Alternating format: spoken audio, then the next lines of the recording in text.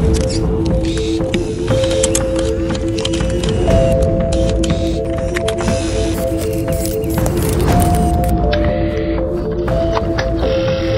No creo que específicamente estos casos estén detrás del miedo al transgénico, al contrario, yo creo que a la gente le puede resultar más interesante.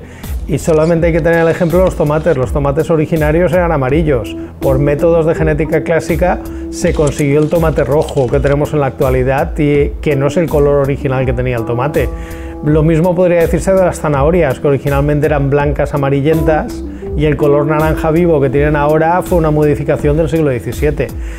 Detrás del miedo al transgénico está básicamente la mala información, mala información que se ha propagado por parte de determinadas organizaciones y determinados partidos políticos que han dicho cosas que no eran ciertas. Y eso ha hecho que en, Europa tengamos un miedo a los transgénicos muy asentado, pero que en cambio en Estados Unidos no lo tenga. El transgénico es una tecnología que infunde miedo por la mala información. El transgénico es una tecnología útil que sirve para determinadas cosas. No es algo que sea bueno o malo per se, sino es algo que nos permite desarrollar ciertas aplicaciones.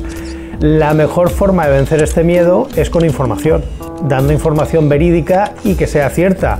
El problema es que toda la información sobre los transgénicos que se basaba en el miedo se ha demostrado que no es cierta. Se ha demostrado que no es cierta porque en 20 años no hemos tenido ningún problema ni de medio ambiente ni de salud. Al contrario, han demostrado que son una tecnología mucho más segura que otro tipo de tecnologías que se utilizan en la alimentación.